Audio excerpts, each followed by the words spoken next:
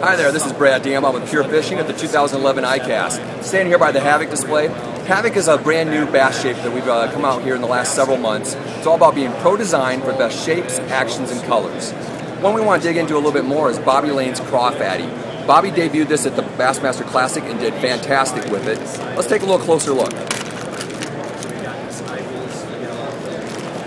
So what Bobby really wanted to do here is have one that has a, a very wide body. It also has these ridges on it, so it's going to move a lot of water, make a lot of noise. But the other thing that's real unique about it is the slim profile on that. So when you hook that, uh, you're going to have really good, solid hookups. You're not going to miss nearly as many fish. Um, also, obviously, the, the flappers get some awesome, awesome action. So if you guys haven't had a chance to go out there and fish the crawfatty, get out there, go to the have go find the Havoc display, get the crawfatty by Bobby Lane.